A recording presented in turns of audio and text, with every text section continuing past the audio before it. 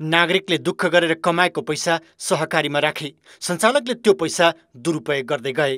कानुन विपरीत भएको त्यो दुरुपयोगलाई सहकारी अनुगमन गर्ने पदाधिकारीले नजरअन्दाज गरिरहे। तर अहिले पैसा डुब्दा ती पदाधिकारीलाई कारवाही गर्ने कुरा कतै उठेको छैन। उल्टै पैसा जम्मा गर्ने नागरिक रुँदै हिँड्नुपर्ने अवस्था छ। देशैभरि भएको यो समस्या समाधान गर्न सरकारसँग गम्भीर र ठोस योजना पनि छैन। गत साता छयासी करोड अठार लाख हिनामिना गर्ने रूपन्देहीको बुटोल स्थित सुप्रिम सहकारीका सञ्चालक विरुद्ध अदालतमा मुद्दा दायर भयो। अठाइसजना आरोपी मध्ये सयौं बचतकर्ताको रकम अपचलन गर्ने मुख्य आरोपी हुन् जीवी राई जीबीले सुप्रिम सहकारीमा जम्मा भएको आम नागरिकको पैसाले आफ्नो दस निजी कम्पनी सञ्चालन गरेको अनुसन्धानबाटै पुष्टि भएको छ। गोर्खा मिडिया ग्रुपदेखि ग्रेजी स्पुन नामको restaurant Mandara spa Nexus music जस्तो नाफामुलक नितान्त निजी व्यवसाय तिनी सहकारीका बचतकर्ताको रकम अपचलन गरेर खोलिएका छन्।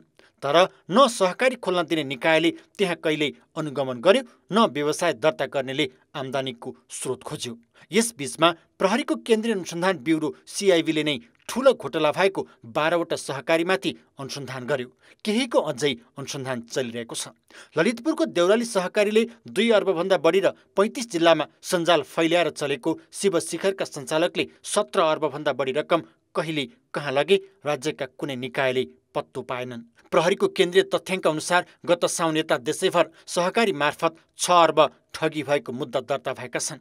गत वर्ष पनि सात अर्ब सहकारी ठगी सम्बन्धी मुद्दा प्रहरीले मात्रै चलाएको छ। स्थानीय प्रदेश र सहकारी विभागबाट छानबिन भएर टुङ्गो नलागेपछि मात्रै प्रहरीमा पठाउने गरिएको छ। ती सबै निकायबाट छानबिन हुँदासम्म सञ्चालकले आफ्नो सम्पत्ति नै बिक्री गरेर हिँडिसकेको हुने प्रहरीको अनुभव छ।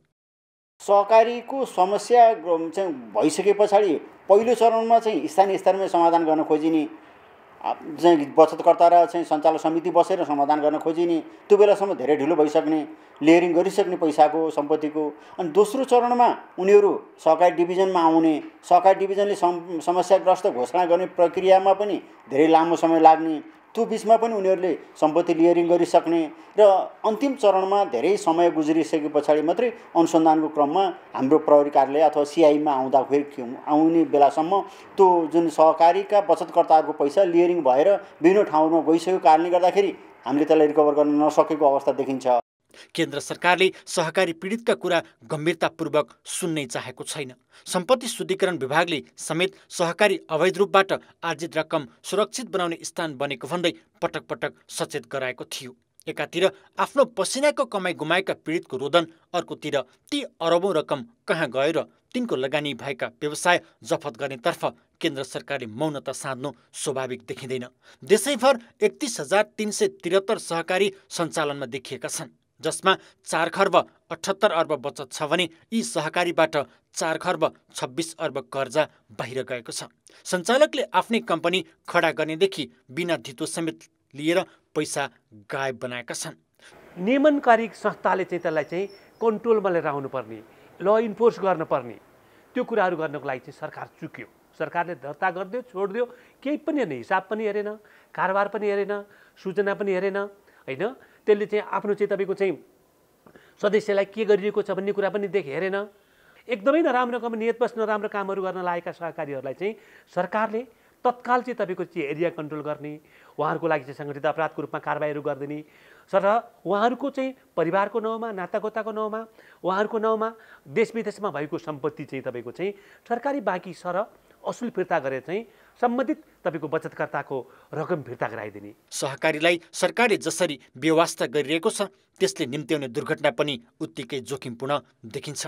त्रिहत्तर लाख एक्कासी हजार दुई सय अठार बचतकर्ताले जीवनभरको आम्दानी सहकारीमै राखेका छन्। यी सबैको बिचमा सहकारी अनुगमन गर्ने निकायका पदाधिकारी र उनीहरूको गलत क्रियाकलापको कतै चर्चा भइरहेको छैन। उनीहरू कहिल्यै छानबिनको दायरामा आउन सकेकै छैनन्।